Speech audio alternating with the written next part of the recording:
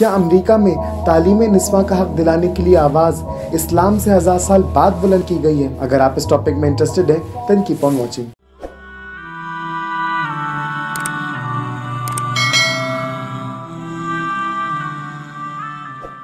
बिस्मिल्लाहिर्रहमानिर्रहीम। अस्सलाम वालेकुम you all and peace upon humanity. My name is doctor Mujamshid and welcome you all to my channel. मेरी जानब से प्यार और मोहब्बत भरा सलाम मेरी तमाम फैमिली के लिए। आप जो भी हैं, आप जहाँ भी हैं, आप सब मेरी फैमिली हैं। अगर आप मेरे चैनल पर नए हैं तो मैं आपको बताता चलूँ, इस चैनल पर हम इस्लाम का एक मुस्बित पहलू उजागर करते हैं और जदीद साइंसी तहकीकत को कुरान और हदीस की रोशनी में पेश करते हैं। तो अगर आप इस टॉपिक में इंटरेस्टेड हैं देन कंसीडर सब्सक्राइबिंग तो चलिए, अब बातें बहुत हो चुकी हैं। Now let's get started with the video जैसा कि आज की वीडियो के टाइटल से आपको पता चल गया होगा, आज हमने इस टॉपिक पर डिस्कशन करना है कि क्या अमेरिका में तालीम नस्वा का हक दिलाने के लिए आवाज़ इस्लाम से हज़ार साल बाद बुलंद की गई है? आज की इस वीडियो की शुरुआत में हमने अमेरिका की तारीख की एक अहम खातून शख्सियत के हवाले ऐसी बात करनी है। इस शख्सियत का नाम सुरखवाना था। सुरखवाना सत्रहवीं सदी की एक शायरा फलसफी, अदीब और ईसाई राहबा थी। सुरखवाना की पैदाइश शुमाली अमेरिका के एक अहम मुल्क मैक्सिको में हुई। इस वक्त तक मैक्सिको पर स्पेन का कब्जा था। सुरखवाना को बचपन से ही तालीम हासिल करने का बहुत शौक था और वो आला तालीम हासिल करना चाहती थी,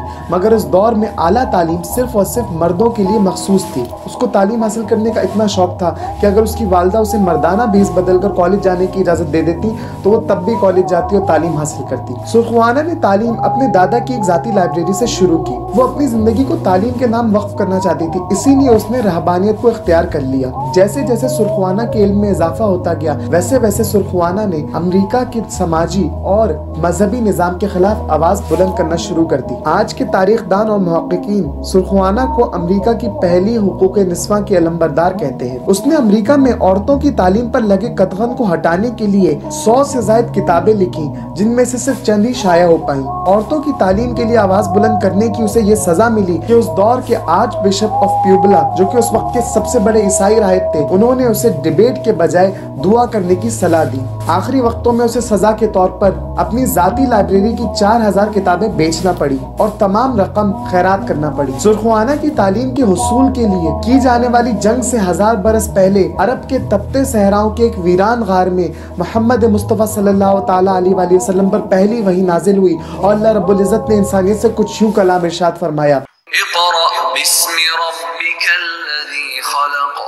नबी पढ़िए अपने रब के नाम के साथ जिसने पैदा किया। इस आयत के नजूल के बाद से तालीम के दौर का वो आगाज़ हुआ कि जिसके लिए रसूल अकरम वसल्लम ने इरशाद फरमाया है। चुनाचा सुनन इब्ने माजा किताबुल मुकदमा किताब नंबर एक की हदीस नंबर 229 में मौजूद है कि इल्म हासिल करना हर मुसलमान पर फ़र्ज़ है। रसूल सल्लल्लाहु ने इस हदीस में इल्म का हसूल बिला तफरीक मर्दोजन फ़र्ज़ करार दिया है। सुरखवाना से हज़ार साल पहले इस्लाम में तालीम नस्वा की एक बेहतरीन मिसाल अम्मी आयशा सिद्दीक़ा के रूप में मिलती है, जिन्होंने बहुत कम उम्री में ना सिर्फ़ खुद इल्म सीखा, बल्कि हज़ारों मर्दों और औरतों को इल्म देने का बायस बनी और आज तक मुसलमान उनके इल्म से फैज उठा रहे हैं। तो देखा आपने कि दुनिया की तारीख में पहली बार इस्लाम ने औरत के लिए तालीम के हसूल को फ़र्ज़ करार दिया और उसको ये हक दिया, जो कि हज़ार साल बाद भी अमेरिका में हासिल ना हो पाया। इसी के साथ इस वीडियो का अख्ताम करते हैं। अगर आपको मेरी ये वीडियो अच्छी लगी हो तो इसे लाइक कीजिएगा, इसे शेयर कीजिएगा, कमेंट सेक्शन में अपनी आरा से आगाह कीजिएगा, मेरे चैनल को भी सब्सक्राइब करें और बेल आइकन को प्रेस करें और जाते जाते एक छोटी सी बात आपको याद दिलाता चलूँ। ज़िंदगी में कितनी मुश्किल क्यों ना हो, कितने ही मसाइल क्यों ना हो। अल्लाह रब्बुल पर तवक्ल करते रहें और मुस्कुराते रहें। सुन्नत भी है और सदका जारी भी and guess what you look good too this is me doctor Mujam signing off असल you all and peace upon humanity